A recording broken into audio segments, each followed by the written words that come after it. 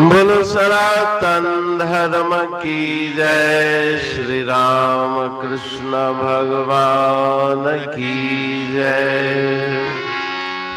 श्री शंकर भगवान की जय। श्री लक्ष्मी नारायण भगवान की जय। जगदम्बे मैया की जय। सदगुरु राम महाराज की जय। सदगुरु सर्वानंद महाराज की जय। सदगुरु शांति प्रकाश महाराज की जय। सदगुरु हरिदास राम महाराज की जय। सर्व संतन की जय। प्रेम प्रकाश मंडल की जय। अमरापुर दरबार की राग भैरवी भजन इकवीय। सचो ध्यान धारण खपे दिल सची असां।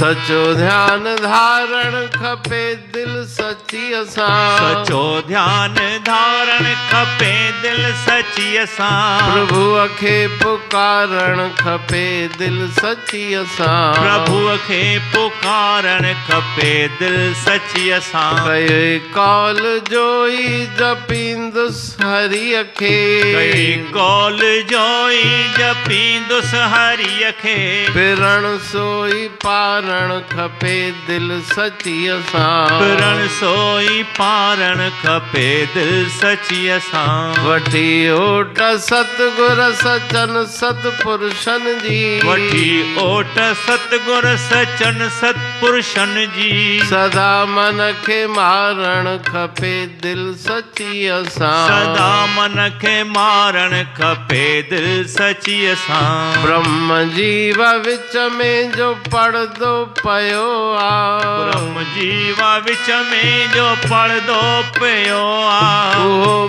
पड़दो टारण खपे दिल सची असां। उहो पर्दो टारण खपे दिल सची असां। कहे टेऊं तो में जो साखी रहे थो। कहे टेऊं तो में जो साक्षी रहे थो। तहीं खे निहारण खपे दिल सची असां। कहीं के निहारण खपे दिल सची असां। प्रभुअ खे पुकारण खपे दिल सची असां। प्रभुअ खे पुकारण खपे दिल सची राग भैरवी भजन इकवीह सचो ध्यान धारण खपे दिल सचीअ सां प्रभुअ खे पुकारण खपे दिल सची सां ठीक। राग भैरवी के इस भजन में परम श्रद्धेय सदगुरु महाराज जी, प्रभु परमात्मा के ध्यान की और प्रेम की महिमा का वर्णन कर रहे हैं। उसका ध्यान करना चाहिए, लेकिन हृदय के साथ मन की वृत्ति को एकाग्र करके उसको पुकारें, हृदय से प्रार्थना करें, हृदय से ध्यान करें। अगर मन जुड़ा हुआ नहीं है तो ध्यान सफल नहीं होगा। मन जुड़ा हुआ नहीं है तो प्रार्थना सफल नहीं होगी। सब में मन चाहिए। कैल कई कौल जोई, जपी इंदुस हरिय के तुमने जो कौल माना वचन किया था, माता के गर्भ में, परमात्मा से, कि मैं आपका नाम जपूँगा। प्रण सोई पारण, प्रण माना वचन। पारण, पालन करना चाहिए, उस वचन का पालन करना चाहिए। खपे दिल सची असा हृदय से। उन वचनों का पालन करें। वठी ओट सतगुर, सचन सतपुरुषन जी। उनकी ओट आधार लेके जो संत महापुरुष, सतपुरुष हैं, उनका आधार लेके फिर क्या होगा? सदा मन के मारण, खपे दिल सची असां उनकी कृपा से ही मन की चंचल वृत्ति शांत होगी तो उनका ओट आश्रय आधार लेके मन को अशुभ विचारों से हटाना, माना मन को मारना चाहिए।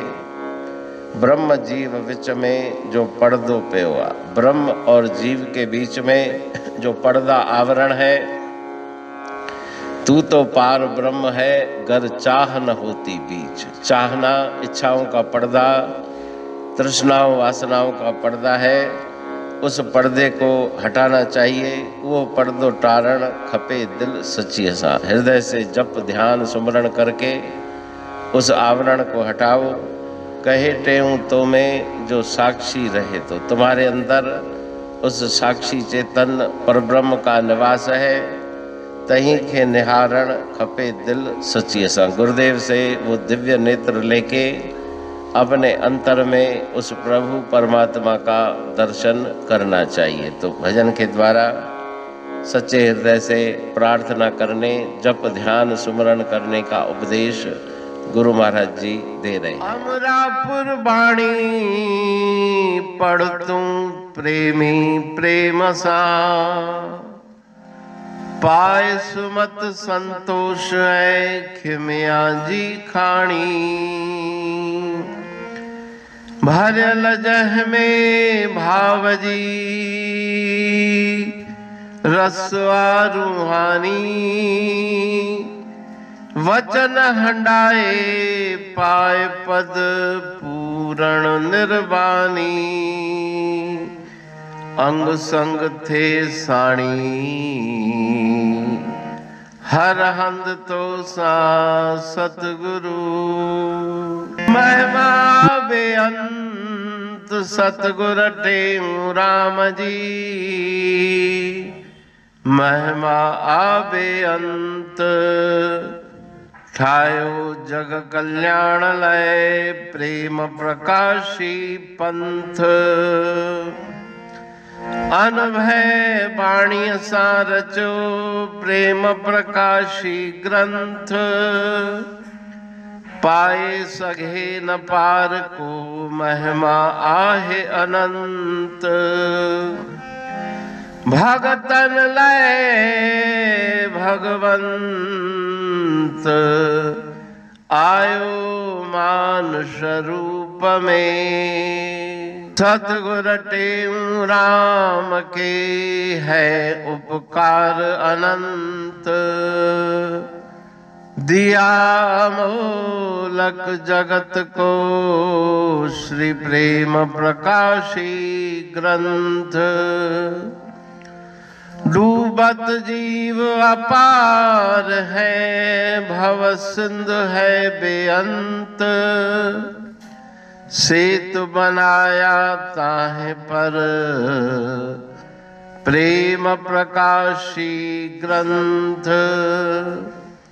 सदवारी जाऊँ सदा वारी पर बलहार। जिस वारी पर बैठ के ग्रंथ रचा सुखकार। वारी मरथल जानिए, वाणी अमृत धार। वारी पर वाणी बनी। ग्रंथ हुआ साकार। सागर मंथन से मिला अमृत घट सुखराश। उर मंथन से प्रघटिया ग्रंथ प्रेम प्रकाश।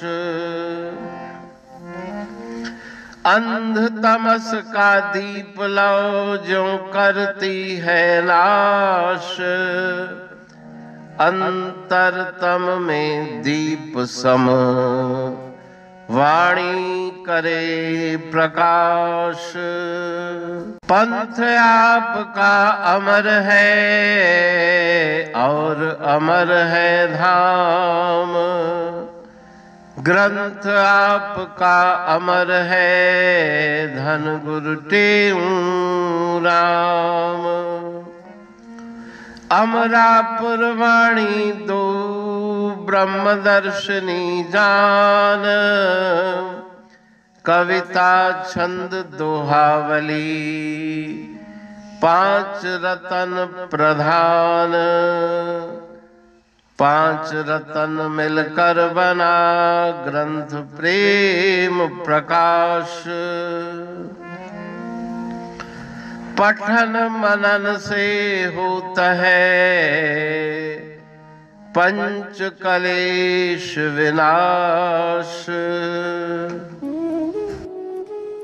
सतनाम साकी प्रेम प्रकाश ग्रंथ की अमृतमयी महिमामयी, आनंदमयी करुणा वर्षणी ब्रह्म अमृत वर्षणी अंतर्दृष्टि उन्मेषणी, सर्वव्याधि विनाशिनी भव पाश विमोचनी, कल्याणकारी ये वाणी है।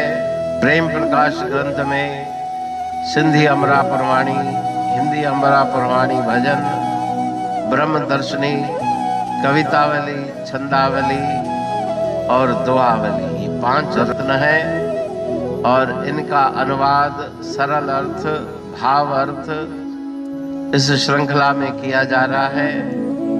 तो प्रेमी गण, उस वाणी का अर्थ समझकर वास्तविक सुख और आनंद की प्राप्ति करें। अनंत अद्भुत रहस्य से भरी हुई गुरु महाराज जी की वाणी है।